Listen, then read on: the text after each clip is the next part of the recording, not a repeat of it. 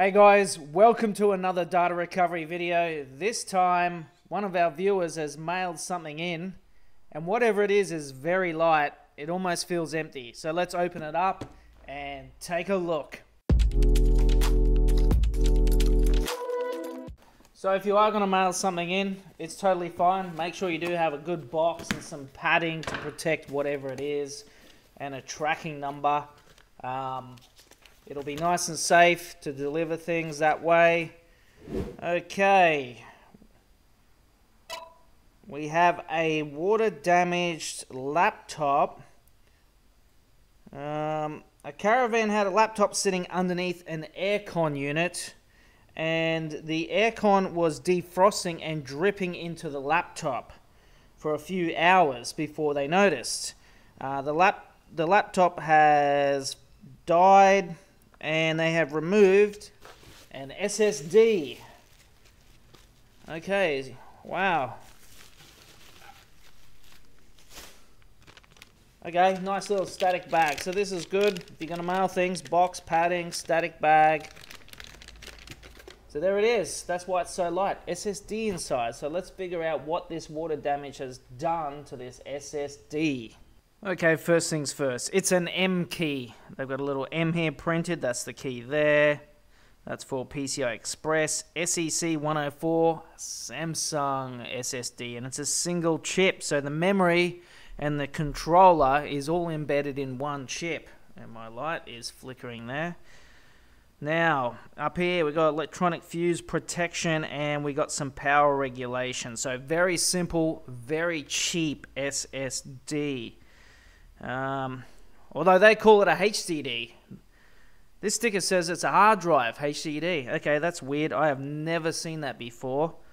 HDD date, CS2144. So, uh, I'm not familiar with these codes, but the hard drive has got 512 gigs and it was manufactured 12th April 2021. So, that is effectively, as of 2024, it's lasted three and a half years, but this one has been damaged externally via a leaking air conditioner. So let's have a look on the back. Condition looks okay. And we've got another sticker that's going to tell us the model. Now, first thing I noticed with this sticker is it looks like someone has actually removed it and stuck it randomly here off center. So I think that would have been covering these electronics here. So someone has had a bit of a peekaboo on the electronics. Now my LED is flickering. Can you guys see that? I'm going to fix that and come back. So this SSD model is a PM991 NVMe 512 gig. We knew that from the other side. Model MZ VLQ5120. Um, made in China. Okay, so let's run some tests and figure out, is it actually working? Let's plug it in and take a look. Okay, no activity. It's definitely not detecting. That is hot. What the? Okay, there's definitely something wrong with this SSD. So maybe the liquid damaged laptop has shorted out this SSD. So let's take a closer look. There's not a lot of electronics here. Basically got an input for an eFuse. I'm just I'm just testing the multimedia. I'm just testing the multimeter in beep test mode and I'm looking for any short circuits. That's okay. That's okay. That's an inductor. That's normal. Okay, we've got something here that is shorted to ground. So this line here, which means this capacitor as well. Yes, and this inductor here, which looks like it's the output of this voltage regulator. What's that? PD5Q. Uh, we got another one down here. Let's keep looking. That's okay. That's okay. And we got two, is it, in pair? They're okay. Uh, little one down here, we'll have a quick look. So this output of this regulator has gone bad, short to ground. So two capacitors, What's that, a resistor? That should be okay. So basically, our options are really, I doubt it's the inductor because it can't go short to ground. The only two things it can be is this regulator or these two capacitors. Let's have a look with the camera, the thermal camera, and we'll see if we can get some better information.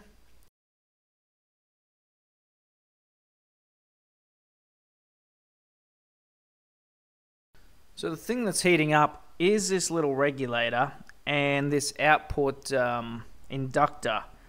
So I doubt it's the inductor. It'd be nice if it was one of these capacitors, but it's most likely this inductor.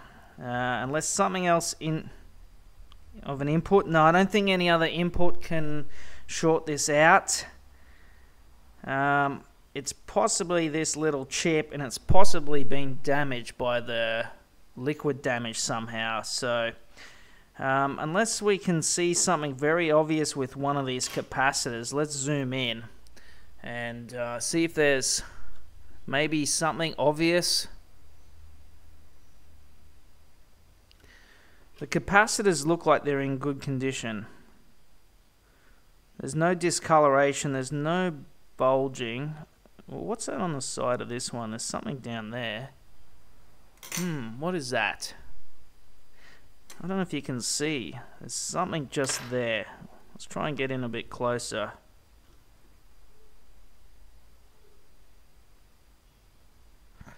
Can you guys see that? What the hell is that? On the side of the capacitor there. It looks okay, but... See, I'm looking for holes or things. Something that's showing that the capacitor is damaged going short to ground. Let's let's see what that is. Oh, that's just a little piece of debris, maybe manufacturing debris. Something's been chipped off from somewhere. Oh, it's a. It looks like it's a piece of the coating for the capacitors.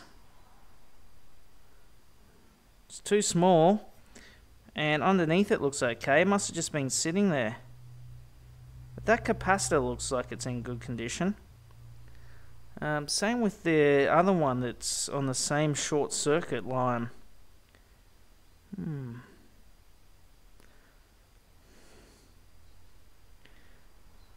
They look like they're in good condition. My gut instinct says it's this little regulator. If it was a capacitor, that would be the thing heating up basically that would be the resistance causing the short. Okay, what I'm going to do is I'm going to pop this little chip out of circuit and I'm going to see if our short circuit disappears. Okay, so I'm going to pop this little chip out of circuit. We just have to make note the orientation. See the little dot down there? Let's just pretend that that little dot there, as long as it goes back the same way, we'll be fine. We've basically got a 50-50 chance anyway a little bit of flux in there. The other challenge is if I if this is faulty, where am I going to get another one from? Generally, these part numbers don't mean anything. You can't just look them up easily. You can't just get one mailed out, so I'll have to figure all that out as well. But first things first, let's take it out of circuit. It's got three pins on the left, four pins on the right, and possibly a big ground. Whoop, there she goes. Okay, that is an unusual pin out on the bottom there. It's got three lines and four pins there. The little resistor almost knocked out of place. Okay, there's a dot. So what's it look like underneath? Oh, wow. That is unusual. That's a cool little pin out design. So let's see if the short circuit has disappeared. It's a bit hard to see, but I've zoomed in a little bit because I'm trying to find out which actual pinout of that chip we removed is the one shorted. And I believe it's this middle one. And it's still shorted to ground by the look of it. Yeah, so that inductor's shorted. That is shorted. That is still shorted.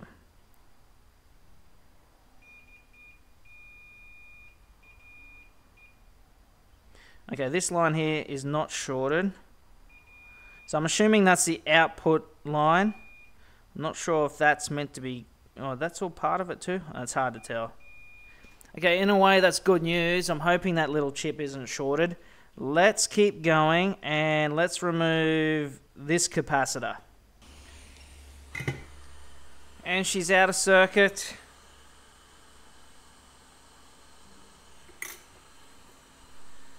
While we're here, let's test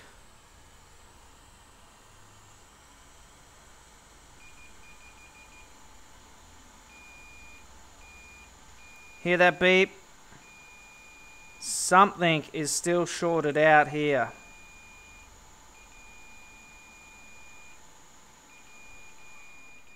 One more capacitor remove, and then I'm wondering what the hell this is. Okay, let's do another short circuit test.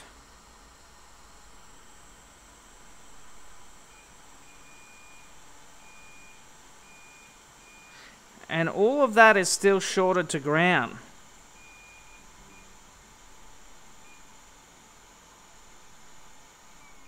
So what is left that can be influencing this line is only in the CPU now. Let's look around and make sure.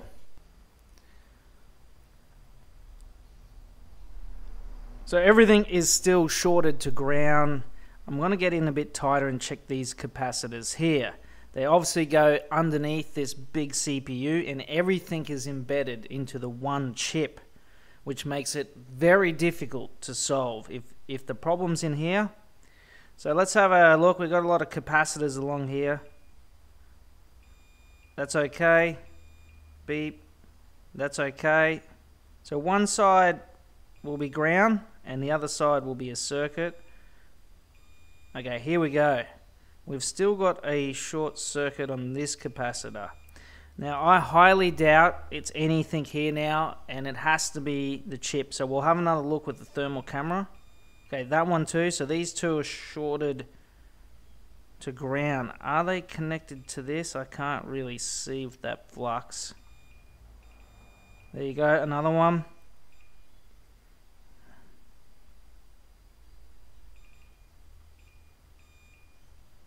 Okay, so all in this area here is still shorted to ground. Hmm. Could it be one of these caps? I don't know. Let's repower with the thermal camera and we'll see what happens now that we've got some components removed. And now nothing is heating up. These circuits are all fine. So I've got another PM991 here. What I'm going to do is get some voltages. It's got very similar readout to the faulty one. So I'll just show you this on the microscope scope so you can see what I'm talking about. This one here produces 1.8 volts. This one's around 1 volt. And down here, 2.5 volts, which must be the NAND, the memory. So part of these two. Interesting. So this is starting to look like the most likely candidate for this problem is the actual CPU that's uh, embedded. Um, which means I can't really do a lot because the whole chip and the CPU is all embedded into the one system. And I don't really have an exact working one to do some more research. But what I'm going to do is swap this chip in this swap these chips around um, and see if I get the same results, same initial results. So what will probably happen if I put this chip here, if this chip is okay or the original chip is okay, it's probably being overdriven and heating up due to the problem with the CPU. But this will give me a little bit more information to confirm that. So I just got to align the chip. So I've just lined up this chip. I'm going to try and solder it back into position.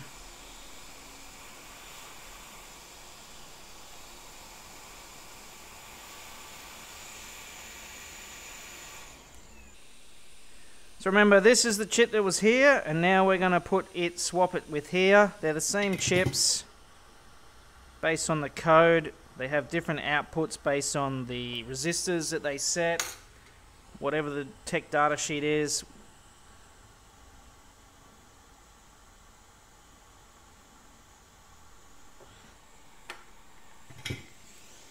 And if this chip was the problem, then we would see it have a problem in this circuit. So this is the test I'm doing.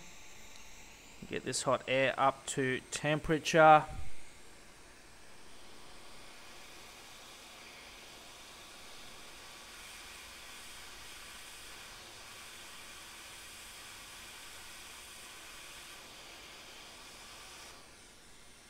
There we go. Now we just got the capacitors at the top there. So one and two.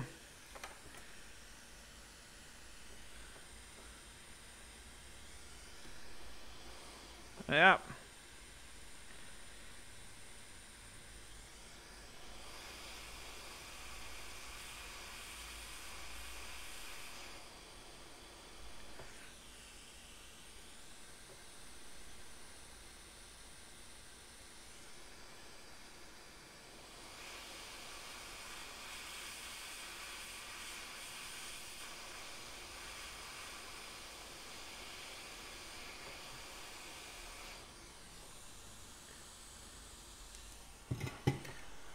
What do you think? So I think what's going to happen is the CPU is the problem and it's just pulling this circuit down the ground and creating them to heat up. These chips have been swapped around. If it was originally this chip, it's now here. So it would cause this circuit to heat up, but I doubt that's going to happen. This is going to give me some more confirmation that this CPU, now everything's in the one chip, so I can't really do a lot if the CPU is the problem now because it's embedded with the memory, so that can't be replaced. Let's clean this up, we'll let it cool down and we'll do a test. So yes, different chip, same problem. I've swapped the chip around and it's heating up just like the original chip was heating up. And you can see the CPU to the left is heating up and that's the, the same circuit. So what I'm going to do here is just probe the voltages for research purposes for this Samsung PM991. Now up here, this regulator provides the logic, so it should be 1.8 volts. It's a little bit low on this one, but I know that should be around 1.8. Now this one should be close to 1 volt. So I'm going to check it live with this problem and we are not getting we're basically not getting any output at all. We'll check these capacitors, yeah, so we're not getting any voltage here. This is all being drawn down the ground, and I think it's a CPU. This one down here, I, I believe, powers a NAND, and it's around 2.5 volts, so it's a bit low. But it does give us some information, and for me to continue to do better research to solve data recovery problems when these fail. I'm going to continue to collect these and um, try and get some better information with working ones. So here's another PM991 SSD that I have. This one's a, what do they call it, 28, 2830 I believe, uh, smaller profile one. It does have issues as well, but it's got better uh, working regulators. So if I show you the output of the E-fuse, around 3 volts. Now if we get into this regulator, should be our 1.8 bang on. Now if we come down to this one, there you go, close to 1 volt. That's bang on for the core. And our NAND, 2.5 volts. So here's a demonstration of one that is in better working condition. So I'll continue to do more research on the Samsung PM991 SSD for data recovery solutions. If you want to find more information on, on my reports to these devices, I'll leave a link in the description and I'll see you guys in the next video.